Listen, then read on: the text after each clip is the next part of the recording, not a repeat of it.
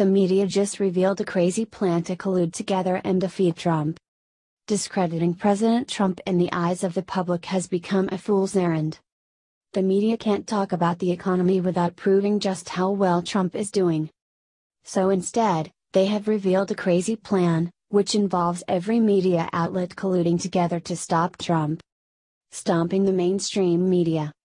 2018 is not a good time to be in the mainstream media. A little over two years ago, the media was laughing at Donald Trump, thinking that he has no chance of ever becoming president. They called him every dirty name in the book, while just outside their view, average Americans were listening to Trump and his message. So when Trump won the presidency, they were blindsided and had to figure out how to respond. It was such a shock to the media because they had no idea that a silent majority of Americans were fed up with them. A shift in strategy.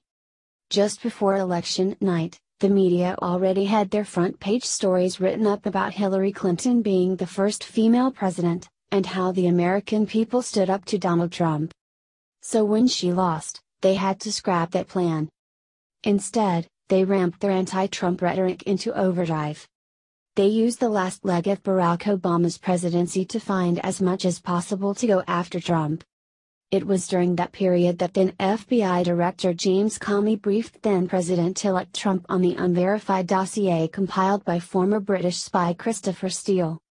Considering that the dossier itself was funded by Hillary Clinton's campaign and the Democratic National Committee, and was leaked to CNN and BuzzFeed, it was all almost certainly a concerted effort by all those forces. After that, they continued to ramp up opposition to President Trump. From the Donald Trump Jr. meeting with a Russian lawyer in Trump Tower to Trump's so called family separation policy, the media overplayed, and sometimes downright lied to create scandals that never actually existed. And now that that sensational strategy of creating scandals has been completely overplayed, they need to find out some other way to go after him. Changing the game altogether. New York Times columnist Thomas Friedman brought up a new strategy and published it in a New York Times opinion piece.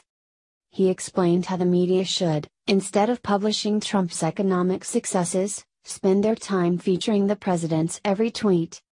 In his mind, that strategy will only put Trump's most bombastic comments in front of the public's eye, while his economic successes are suppressed.